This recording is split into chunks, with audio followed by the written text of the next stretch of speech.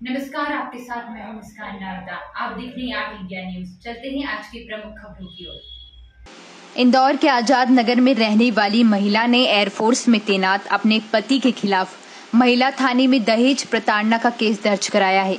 महिला की शिकायत पर पुलिस ने मामला दर्ज कर जाँच शुरू कर दी है।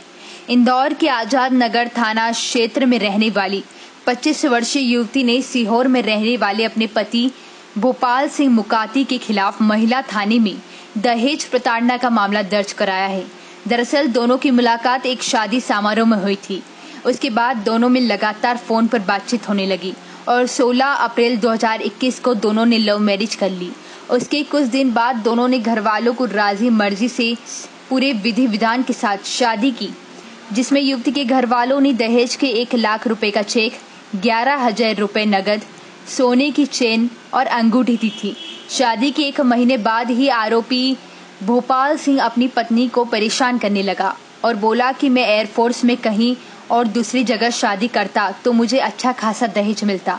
उसके बाद पति लगातार अपनी पत्नी पर दबाव बनाता रहा और कार की डिमांड कर रहा था। परेशान होकर युवती अपने घर इंदौर आई और परिवार के साथ महिला थाने में पति के खिलाफ दहेज प्रताड़ना का मामला दर्ज कराया।